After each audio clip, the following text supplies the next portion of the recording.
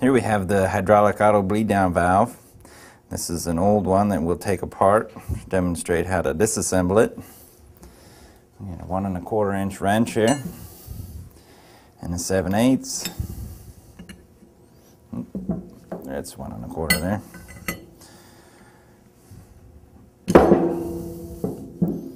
Break that free. And a one inch wrench on the outlet.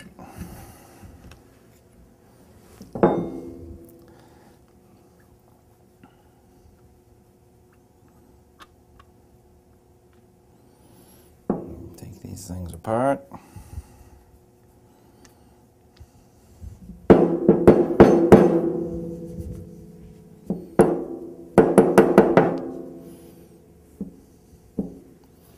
Then we have our extraction tool here. We push it in from the back side where the dust seal is and push the poppet and seal assembly out the other side.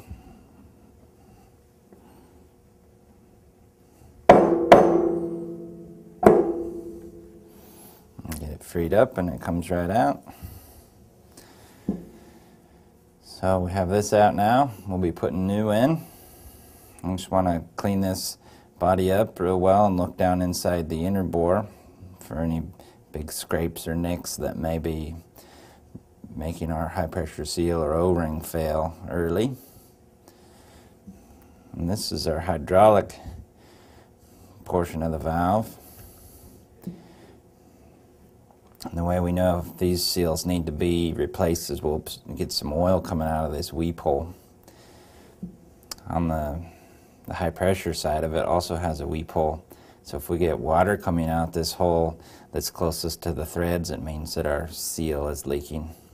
If we get water coming out the other end there, just means that this, where this poppet landing seats in there, either has a bad seating surface or it's not tight enough. So we'll set this stuff aside. We're going to get on the assembly here of the hydraulic auto bleed down. We start off with the hydraulic portion of the valve and we will get the piston and the O-rings for the piston.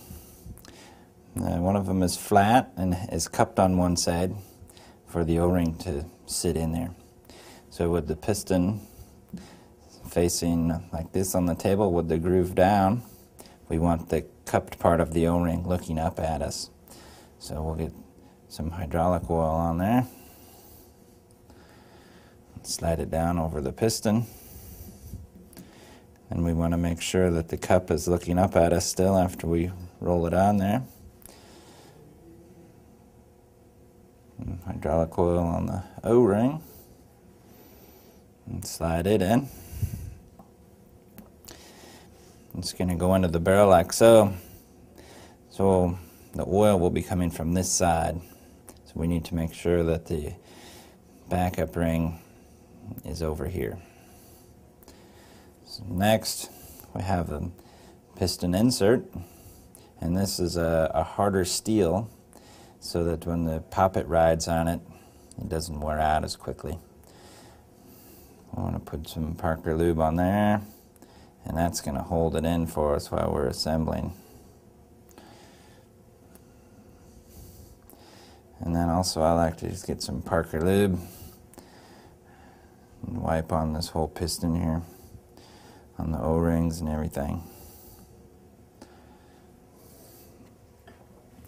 And we slide it in with the insert going down away from us. Let's push it in with our thumb.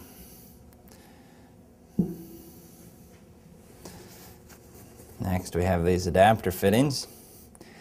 And we'll lube the O-rings on those. And screw them into the hydraulic housing.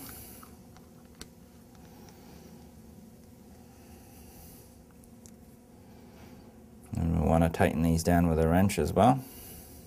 One and a quarter. And then the other one and a quarter.